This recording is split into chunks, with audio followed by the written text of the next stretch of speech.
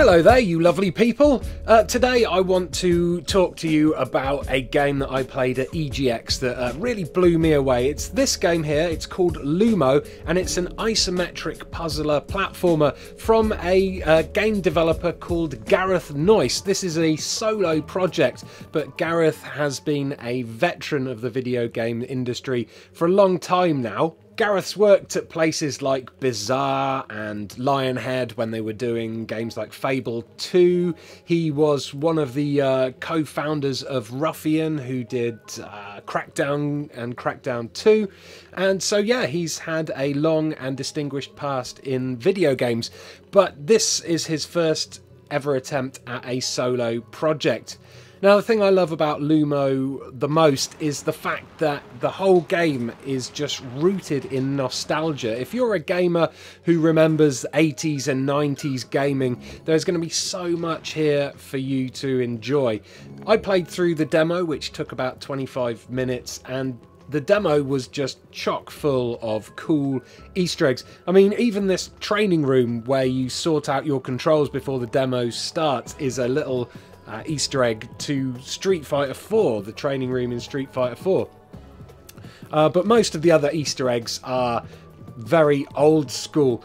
Uh, when you first start this demo, you can't jump at all. Little uh, wizardy Lumo guy uh, wanders around. You, you bumping into boxes, wondering how to uh, how to progress. Uh, if you walk around and you come into this room, you can see up on the top of this wall what looks like and this is the first uh, the first cool Easter egg. What looks like an agility orb from Crackdown, and in fact, if you ride this little elevator up and collect it, you get the agility orb sound, and it even acts like an agility orb. So there's lots of um, nods to Gareth's past as a developer as well, which is pretty awesome. Now the game is also full of tons and tons of secrets I'm going to show you how to get the first secret right now by jumping on these boxes and then jumping up onto this little shelf and then you climb over the wall and grab the audio cassette tape. Woo, happy days. I guess you could say there's a certain Metroidvania style to the gameplay because you have to get items that allow you to unlock doors and then double back on yourself. Now I've got the jump power it's a lot easier for me to navigate back over these moving platforms that I had to get over uh, on my way here. And that will in turn allow me to reach places in the game world where I hadn't been before. Now, according to the press release, there's 400 separate rooms in this game with three different world types.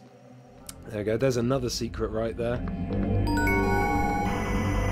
And as you go, you're going to be building up powers, grabbing more and more collectibles, and uh, searching for secrets as you go along, hopefully.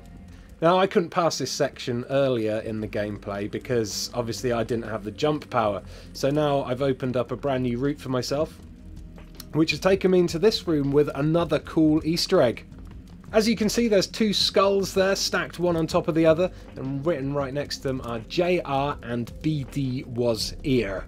Now JR and BD stands for Jon Ritman and Bernie Drummond who were the programmer and artist on Head Over Heels which is obviously a massive inspiration to this game. And by the way, there are so many Easter eggs in here that I probably have missed a couple, so uh, please do let me know in the comments if you spot any others.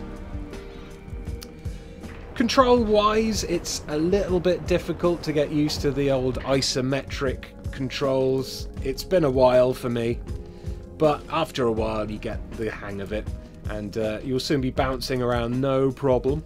This little room here leads to another cool Easter egg. I'll see if you can guess what it is.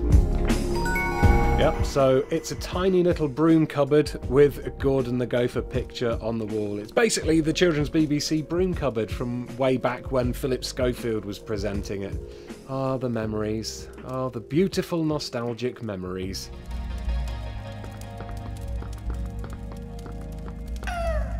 Every hazard in the game is one hit kill as well, so, you know, no health bars or anything like that. We're going back to the old school style of gaming. You don't get like three lives and then you have to restart the whole game again, though. At least I hope not. You don't in this demo. I don't think I'd have the patience now to complete a game like Head Over Heels in one sitting. There we go, grabbed a map using the uh, magical box. The map's not available in the demo version though, so bit of an anticlimax. The map would probably be quite useful as well because, to be honest with you, I kept getting lost. Um, I kept getting turned around and forgetting which direction I was going. I think that's because all the rooms are so small and you can't see where they, you know, where the doors lead to. So, you know, you, you can't really build up a good mental map. Now, embarrassingly, I can't put my finger on what that Easter egg is for. It's on the tip of my tongue, but I can't remember it. So do let me know in the comments so I can kick myself later on. Uh, oh, it's annoying that I can't remember it. So we've made our way up this little elevator anyway to grab a spanner. The spanner's going to help us in our quest. Uh, it's basically a key. It's going to do something that will allow us to uh, progress. Nothing else up here though, so let's head down on the elevator and listen to that funky, funky music.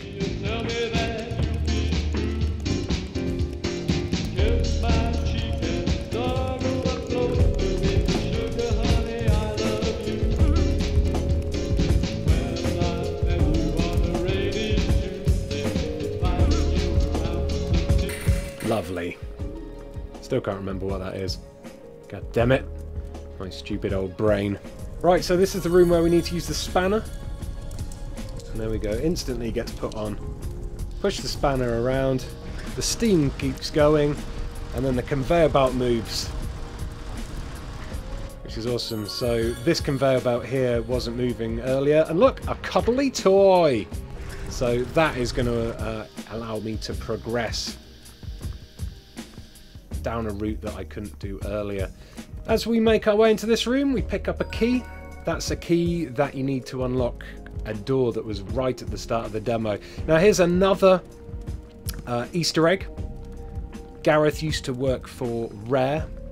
And as you can see on the box, it says Rare Goods, and it's got a pair of googly eyes. I think those eyes, those eyes kind of remind me of some kind of Banjo-Kazooie type eyes. I could be wrong, but I think that's what they're from. But yeah, some googly eyes on a rare goods box is another little Easter egg about Gareth's programming past. And then we finally make it back to the locked door, unlock it with the key. And find another little puzzle here. With a rare goods box. Now you'd think you could just do it like that. But you can't jump up that high. You can push the brown box though, but not the way you need it to be pushed. So what you have to do... Come on, box. You have to lead the little box round to the back, jump up on it, push the box that way. There you go. And then get the box to follow you back round again. Trouble is, uh, this box has got a mind of its own, and he wasn't interested. You need to kind of stand still a bit so he falls in love with you. Go on. Fall in love with him. Go on, box. There we go. And then you lead him on his merry little way. Jump up. Push the box. Jump and collect. And there you go. Demo completed. One gigabyte memory card in the bag. There's even a little in joke to the prodigy there. Take your brain to another dimension pay close attention. Yeah, Prodigy. So there we go. Look, explore 400 rooms. Um, and they're going to be a lot more varied than the ones we just saw in this little Let's Play. Four different zones. I think I said three different zones earlier, but uh, four different zones. So basically, if you're an older gamer like myself, who's lived through many years of different consoles and computers, starting from the Spectrum all the way up to present day, then there's going to be something in here that will make you smile. There's still a while until it's out, early next year I was told, not sure exactly when, but I will definitely be keeping an eye out on this for you guys and I'll let you know when I hear more about it because it just it's just a very cool looking game and I like it. I like it a lot. Thanks for watching. If you enjoyed this video, please do give it a thumbs up and subscribe for more from Eurogamer. Goodbye.